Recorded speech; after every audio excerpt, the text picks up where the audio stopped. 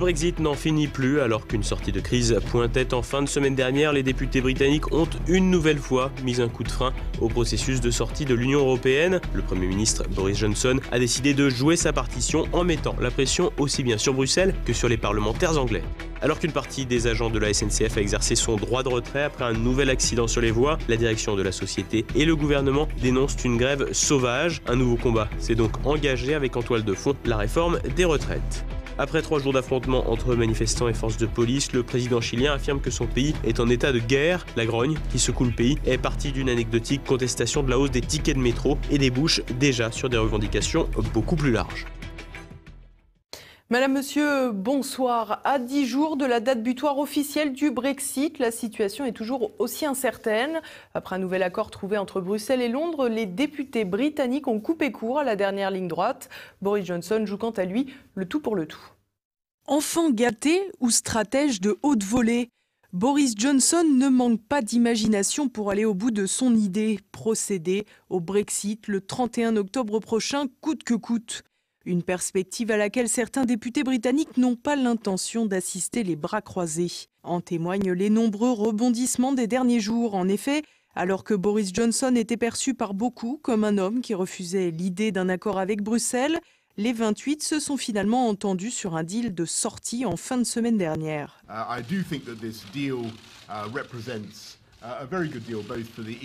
And for the UK and it's a reasonable fair outcome and reflects the uh, large amount of work that's been undertaken uh, by. Un nouveau texte aux similitudes avec celui qui avait été négocié par Theresa May, mais parmi les différentes dispositions, une période transitoire d'au moins 14 mois et surtout des avancées sur la question irlandaise dont s'est félicité le chef de la diplomatie en estimant qu'il s'agissait d'un grand pas en avant. Dans ce cadre, la province britannique bénéficiera d'un statut spécifique, voire hybride, à la fois comprise dans le territoire douanier britannique et soumise aux règles du marché unique européen. L'Irlande du Nord ne verra pas fleurir de frontières en dur. Les marchandises en provenance du Royaume-Uni seront en effet contrôlées à leur arrivée au port sous le contrôle de l'administration britannique, même si des inspecteurs de l'UE pourront participer également au contrôle à leur côté. Les marchandises destinées à rester en Irlande se verront appliquer les droits de douane britanniques. A l'inverse, les produits en transit et destinés à rejoindre le marché européen s'acquitteront des tarifs de l'UE aux douanes britanniques, lesquels seront ensuite reversés à Bruxelles. Une disposition proposée par Theresa May qui avait à l'époque été refusée par les instances européennes. Par ailleurs, ces règles pourront être revues après un délai de 4 ans, autre concession non négligeable de la part de Bruxelles. Ainsi, de véritables avancées étaient à constater dans ce nouvel accord, mais visiblement pas suffisamment pour faire l'unanimité, y compris chez les Britanniques. It's Mrs May's deal with any little tweaks and twerks. It's not worth having. It won't be uh, of any use to us, and it won't be leaving. It'll, well, actually, it's worse than actually remaining. I think we should keep things simple, like the original voting documents uh, Cameron's vote uh, referendum. All it said on that document was leave or remain. Nothing about do dodgy deals. You know, we don't want all these grubby deals. We just want out. I think the deal that has been reached is nonsense. We're Parliament are not going to get it through in time. We have no, there is no option. They have to get an extension, and then the deal can be analysed properly. And just like May's deal, Effectivement, si les feux semblaient ouverts jeudi à Bruxelles, la détente n'aura pas duré. Samedi, les députés britanniques avaient consenti à siéger de manière exceptionnelle et ils ont voté l'amendement Letwin fixant qu'aucun vote sur l'accord ne pourrait être fait tant que la législation nécessaire à son application ne serait pas elle-même votée par le Parlement. Une pirouette législative dans le but de pousser Boris Johnson à réclamer un report du Brexit. Le tout pendant que des anti-Brexit manifestaient pour un nouveau vote et jetaient aux oubliettes le premier référendum. Un revers auquel il fallait s'attendre puisque la Chambre est depuis longtemps divisée en plusieurs camps. D'une part, les députés qui réclament un Brexit dur, sans accord ou avec un accord mais sans union douanière ni disposition contraignante. D'autre part, ceux qui rêvent d'un accord permettant une sortie timide des accords européens. et ceux qui refusent de sortir de l'Union européenne et jouent donc leur carte jusqu'au bout, à l'image des libéraux démocrates. For the Liberal Democrats, no deal that Boris Johnson, Theresa May or anybody else strikes for us is going to be as good as the deal that we have as full members of the European Union. We want to remain in the European Union. For that reason, we will not be supporting this deal. Une position assez peu respectueuse de la souveraineté populaire exprimée en juin 2016 qui a toutefois trouvé un écho parmi les parlementaires. Conformément à ses prérogatives, Boris Johnson s'est donc attelé à la rédaction d'une lettre à l'intention des instances européennes pour demander un report de la date fatidique, une missive expéditive et non signée par le locataire du 10 Downing Street, suivie quelques heures après d'une seconde lettre signée cette fois qui expliquait combien un report serait dommageable à la fois pour Londres et pour Bruxelles. À croire que Boris Johnson a décidément plus d'un tour dans son sac. En effet, contrairement aux impressions du mois dernier, le Premier ministre britannique et l'Union européenne semblent sur la même longueur d'onde.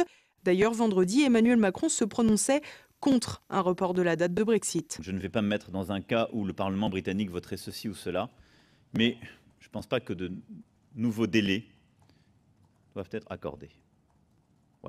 Je pense qu'il nous faut maintenant terminer ces négociations, passer à la négociation sur la relation future et pouvoir en terminer. En Grande-Bretagne, le signal envoyé samedi par les parlementaires laisse entrevoir un nouveau refus, refus que Boris Johnson veut à tout prix éviter. Il a annoncé par le biais de son porte-parole qu'il refuserait la tenue d'un vote si les députés essayaient de l'amender et que son gouvernement présenterait dès mardi les actes législatifs réclamés par l'amendement Ledwin afin de mener à bien le processus de sortie pour le 31 octobre. De quoi promettre une nouvelle semaine pleine de rebondissements. Joyeuse pagaille à la SNCF. Depuis vendredi dernier, des agents ont fait valoir leur droit de retrait après un accident survenu avec un TER. Le gouvernement et la direction de la société ferroviaire dénoncent une grève qui ne dit pas son nom, une étape supplémentaire dans le bras de fer qui oppose l'exécutif aux cheminots. Thibaut Bastide. Un droit de retrait légitime d'un côté, une grève sauvage de l'autre, c'est un véritable bras de fer qui s'est engagé à la SNCF. Depuis vendredi dernier, de nombreux agents ont exercé leur droit de retrait invoquant auprès de leur employeur un danger grave et imminent suite à un accident survenu mercredi soir à Saint-Pierre-sur-Vence, tout près de Charleville-Mézières dans les Ardennes. Pour rappel, un TER, un train express régional, a percuté un convoi exceptionnel ayant fait 11 blessés légers.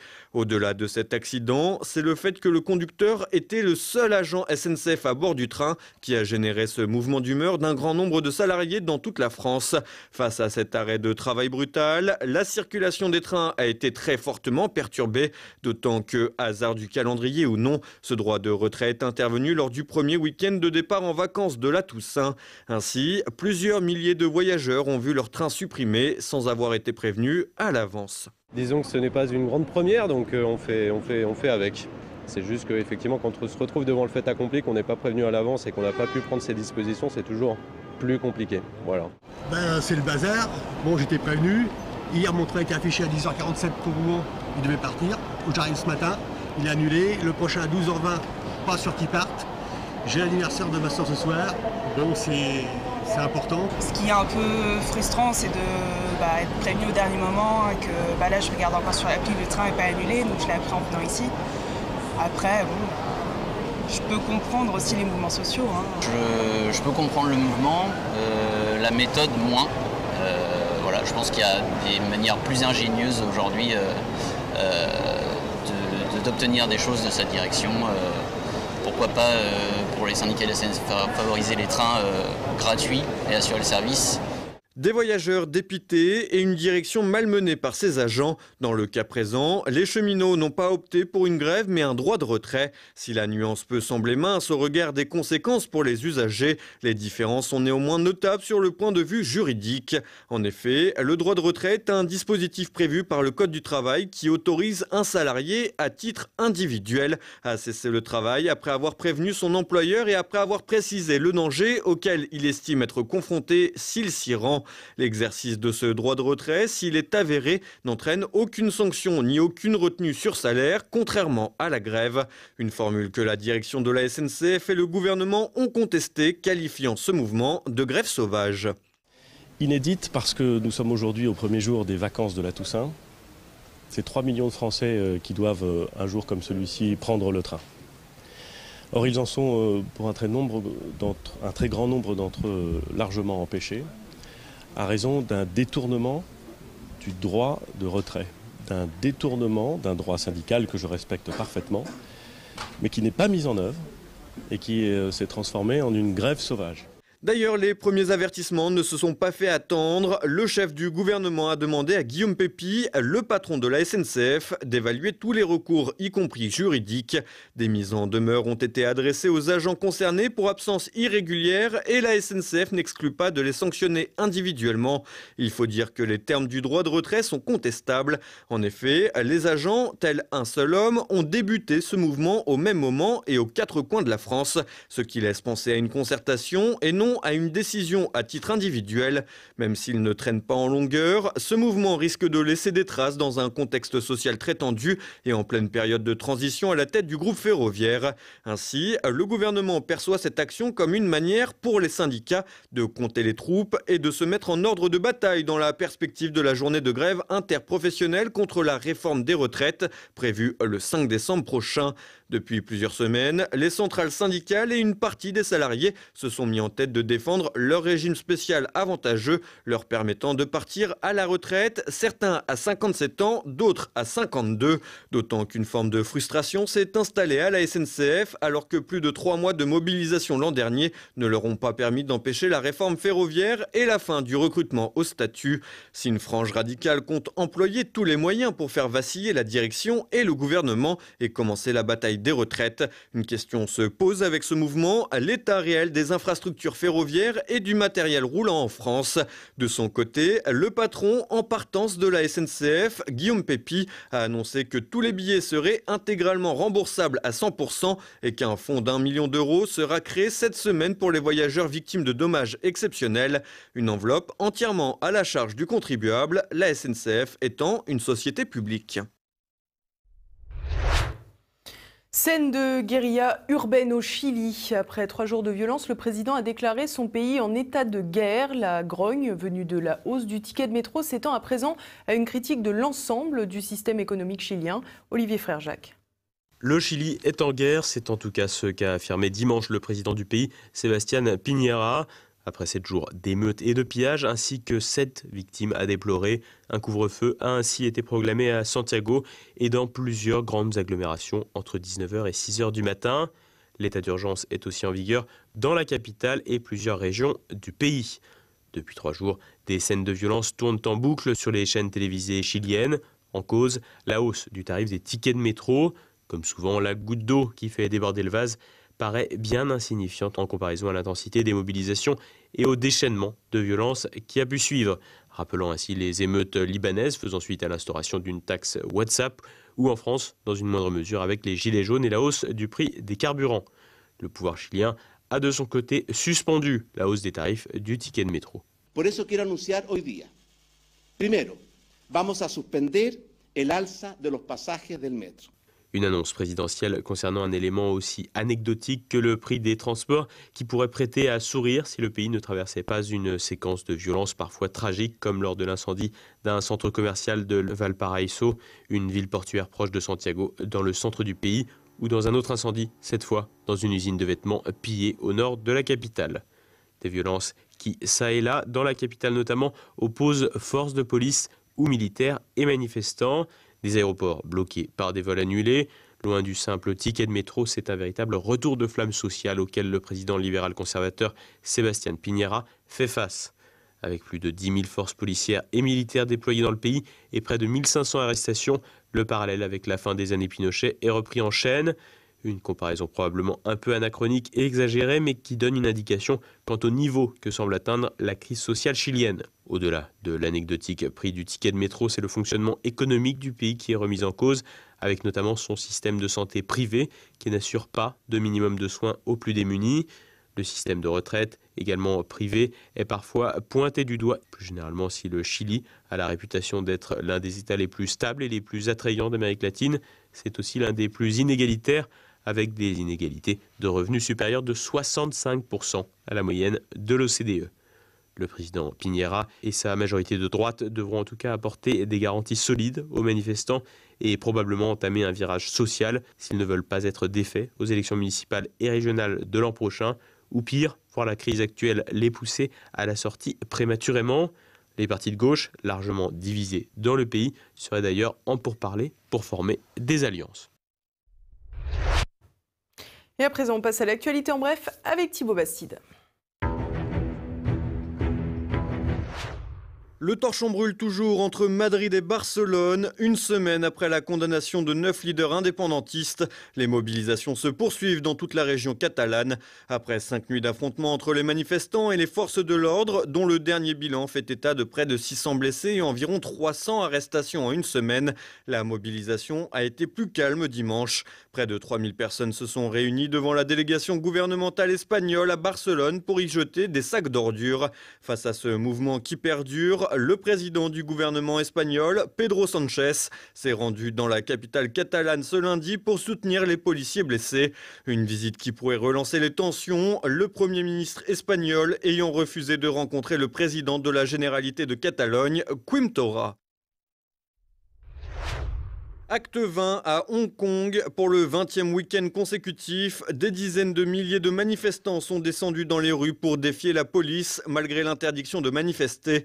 Des scènes de violence ont rapidement éclaté, des commerces ont été pris pour cible. Par ailleurs, un jeune homme de 19 ans qui distribuait des tracts appelant à manifester a lui été grièvement blessé par un assaillant qui l'a poignardé au cou et à l'abdomen. Depuis plus de 5 mois, les manifestants dénoncent un recul des libertés, des ingérences croissantes de Pékin sur l'ancienne colonie colonie britannique. Contestation également au Liban. Dimanche, des centaines de milliers de Libanais ont manifesté dans une ambiance festive pour réclamer le départ d'une classe politique jugée corrompue et accusée d'avoir enfoncé le pays dans une crise sans fin. La contestation a débuté jeudi dernier de manière spontanée après l'annonce d'une taxe sur les appels effectués via l'application WhatsApp, une mesure aussitôt annulée sous la pression de la rue. Le Premier ministre libanais Saad Hariri a laissé entendre qu'il pourrait démissionner s'il ne réussissait pas à obtenir un feu vert pour ses réformes dont celle très attendue par les Libanais d'une refonte du secteur de l'énergie. Le Premier ministre libanais a finalement consenti ce lundi à réduire de moitié les salaires des présidents, des ministres et des parlementaires en exercice ou honoraire et de baisser divers avantages accordés aux hauts fonctionnaires. Un an déjà que les législatives ont eu lieu et toujours pas de président en Bosnie. Le représentant serbe de la présidence tripartite, Milorad Dodik, est censé présider avec deux hommes politiques croates, mais ce n'est qu'un concept raté. Le Premier ministre de fait, le bosniaque Denis Zvidic, est d'ailleurs aussi président du Parlement, participant de la confusion la plus totale. Le fonctionnement intentionnel y est assuré sur la base de l'accord de Dayton de 1995, qui établit deux entités autonomes, l'une serbe et l'autre croate croato-bosniaque éprouve ses limites scrutin après scrutin.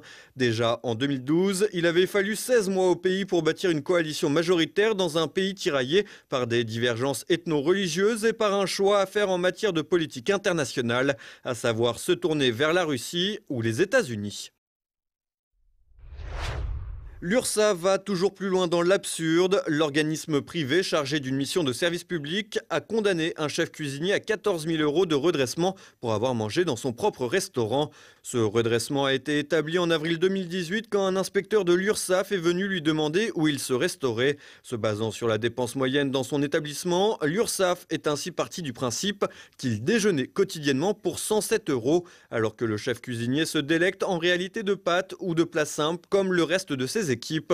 Seul lot de consolation pour le chef, il a pu échelonner ses paiements sur trois ans. Le redressement se base ici sur la loi française selon laquelle la fourniture de repas par une entreprise à ses salariés ou à ses dirigeants est considérée en droit de la sécurité sociale comme un avantage en nature soumis à cotisation sociale.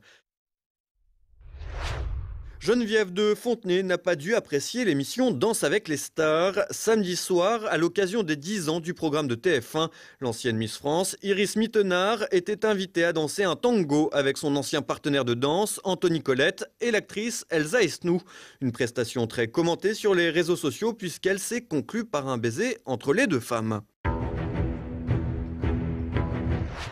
Et voilà, on approche déjà de la fin de cette édition. Dans un instant, notre Zoom du jour. Fabrice Adjadj est considéré comme l'un des principaux philosophes catholiques. Il présente son dernier livre, À moi la gloire.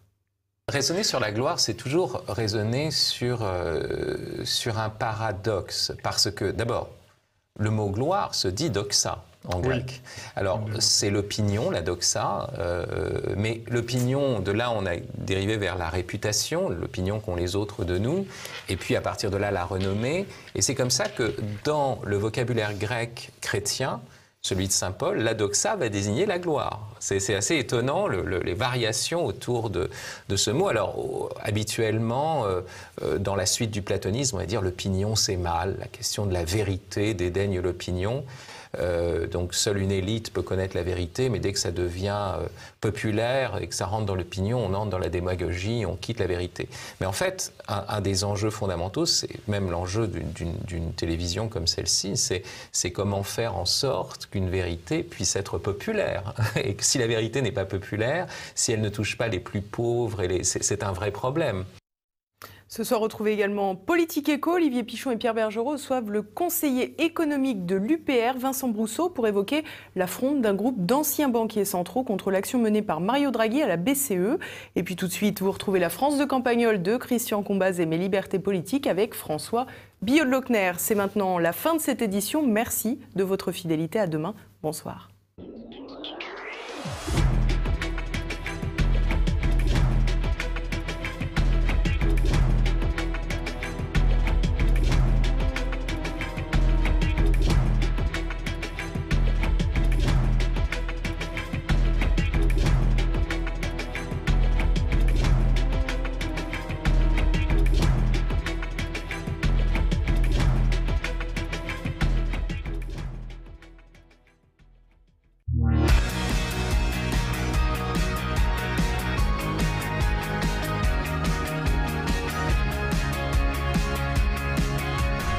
Déjà un peu trop vieux quand la vogue des Castors Junior a débarqué dans les librairies en France mais les marchands de journaux. Mais j'avais un jeune frère qui laissait traîner cette littérature Disney à la maison et même euh, si ça paraissait ringard et même si nous préférions la lecture des bandes dessinées plus modernes, eh ben on lisait Picsou Magazine et c'était toujours des histoires assez morales. D'ailleurs pour la génération de l'immédiate après-guerre, la mienne, Disney c'était l'émotion dans Bambi, le pittoresque des sept nains, une émission dominicale aussi animée par Pierre Tchernia qui présentait des extraits, un peu toujours les mêmes d'ailleurs, des grands dessins animés classiques classique de la marque Disney, euh, la danse des ballets dans Fantasia, les premiers pas de Bambi avec son copain le lapin.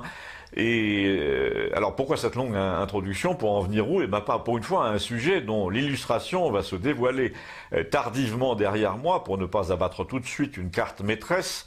Figurez-vous que dans la série C'était mieux avant, j'ai un atout à vous dévoiler, c'est l'affiche du dernier dessin animé de Walt Disney qui s'appelle Maléfique. Déjà le titre, on sent bien qu'on n'est pas dans Bambi ni dans La Reine des Neiges. Et le slogan de ce film est absolument invraisemblable, c'est Découvrez le pouvoir du mal. Vous avez bien lu. Alors vous allez me dire, euh, ouais, mais vous prenez les choses euh, trop au premier degré, il faut avoir un peu d'humour. Et là, je me permets de vous répondre que si Disney correspond au même public que celui de mon enfance, de 6 à 9 ans, mettons, est-ce qu'on attend vraiment des enfants de cet âge une lecture au second degré? Non, non. Ce qui caractérise justement les enfants avant 10 ans, c'est le premier degré. Donc écrire le pouvoir du mal comme argument principal de vente d'un film qui leur est destiné, à mon avis, c'est un crime contre l'esprit. Et là, je voudrais glisser vers un autre sujet strictement corollaire. Figurez-vous que euh, notre ami et voisin Léon, là, le médium, vous savez qu'il a des intuitions morales surtout, me dit l'autre jour, euh, à, Villeneuve, ça venait de sortir, je suis allé au cinéma, je suis allé voir un film dont la seule affiche euh, et l'affiche signalétique en quelque sorte dans les journaux m'a tiré un peu comme révélateur de ce qui nous arrive. J'ai senti dès le début qu'il y avait quelque chose de diabolique dans ce, dans ce film-là, et donc je suis, suis allé, je suis sorti de la salle euh, convaincu de ce que je pensais, j'ai compris que les temps étaient presque mûrs, euh, on se cache même plus pour déchirer le contrat social, pour brûler euh, ce qui nous tient ensemble. Euh, ce film s'appelle Joker. C'est l'histoire d'un pauvre type qui devient très très méchant parce que la société ne l'a pas ménagé, donc il se met à tuer les gens à bout portant en riant comme un cinglé. Et à la fin, il tue aussi un présentateur de télé du genre Drucker, comme ça, pam pam pam, en direct, et la nation des pauvres et des humiliés de toutes sortes se soulève par enthousiasme, comme si c'était un signal contre les pouvoirs qui nous oppressent. Les gens commencent donc dans le film à brûler des voitures, ils s'attaquent à la police, et là tu te dis, mais euh, parce qu'apparemment le film cartonne littéralement partout, ça comble un besoin, ça répond à un appel intérieur. Les gens ont désormais besoin d'exprimer une angoisse en s'attaquant à ce qui les dépasse. Or, quand tu y réfléchis, tout les dépasse justement en ce moment. Ils ne contrôlent plus leur destin, leurs besoins, leur emploi, leur image, leur vocabulaire. La parole publique les ignore. On leur colle de force des euh, voisins dont ils ne veulent pas. Et on leur envoie des avocats au premier prétexte, ou des contrôleurs, ou des sommations, ou des mises en garde ils voient toutes leurs élites récompensées pour des, méfaits, en fait. Et par exemple, tu apprends que l'autre folle, là, s'apprêtait à être nommée commissaire européen, alors qu'elle touchait de l'argent d'un groupe financier américain tous les mois. Alors donc tout est pipé, truqué.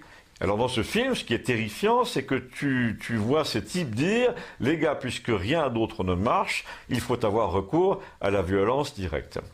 Et rien qu'en disant ça, il met le feu partout, le, héros du film. Alors je lui dis, à ton avis, qu'est-ce que ça veut dire pour ce qui nous attend à nous? Ça veut dire que si ce film triomphe vraiment sur la terre entière, sur tous les écrans, on est quand même mûr pour l'antéchrist. Et là, je lui ai parlé de la maison Disney et de mon film Maléfique, là, dont le slogan est, le pouvoir du mal.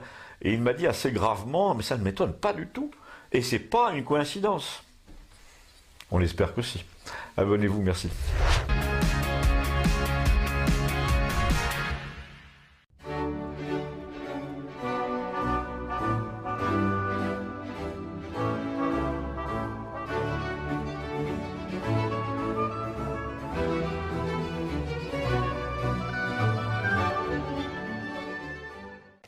L'écologie est un sujet sérieux. On ne rigole pas avec l'écologie. J'en veux pour preuve que l'on confie le sujet à des personnalités de renom, à des pointures, à des gens capables, intelligents, bien formés. Depuis l'apparition de la divine Greta Thunberg, par exemple, la collégienne suédoise à 13 de 16 ans, Pascal et Descartes peuvent aller se rhabiller. Ça leur apprendra à faire de l'exhibitionnisme surtout devant une adolescente de 16 ans. Autre exemple, Ségolène Royal, ancienne ministresse de l'écologie. D'ailleurs, Ségolène admire Greta. Ce n'est pas un hasard. Elle la trouve, je la cite, extrêmement brillante, fichtre. Avec tous ces phares de l'humanité, nous voilà fichtrement bien éclairés. Cela dit, Greta combat la pollution en ne se rendant jamais dans les pays où on pollue le plus. Elle a sûrement raison, puisqu'elle est divine. Donc, ne pointons jamais du doigt les pays où l'on pollue le plus. Ce serait antigrétique, donc impardonnable. De son côté, Ségolène lutte contre la fonte des glaces au sein du Conseil de l'Arctique. C'est vraiment très beau, ce combat fondamental qu'elle mène au sein du Conseil de l'Arctique. Il y a simplement un tout petit problème, c'est qu'elle ne met jamais les pieds au sein du Conseil de l'Arctique. Oui, malheureusement pour elle, un chercheur spécialisé dans les pôles, Mika Mered, a vendu la mèche. Ségolène Royal, pourtant très officiellement ornée du titre de Reine des Neiges et d'ambassadrice des pôles, n'a jamais présenté sa charmante figure en cours de défraîchissement dans cette honorable assemblée pourtant dédié à un ô combien noble combat. Il y a pourtant une raison à cela, nous explique la qui essaye de se défendre comme une diable et sa corne.